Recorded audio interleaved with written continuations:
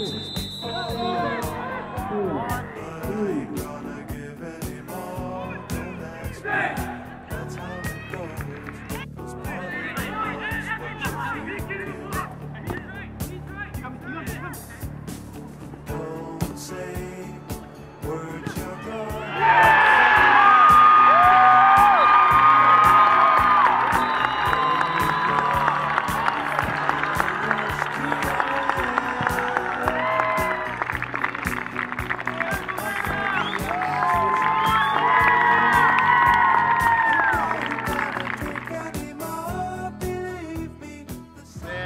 just can't, it's hard to describe how excited I am for these seniors and uh, these guys that have just turned things around this year. It's the first winning season we've had in a long time.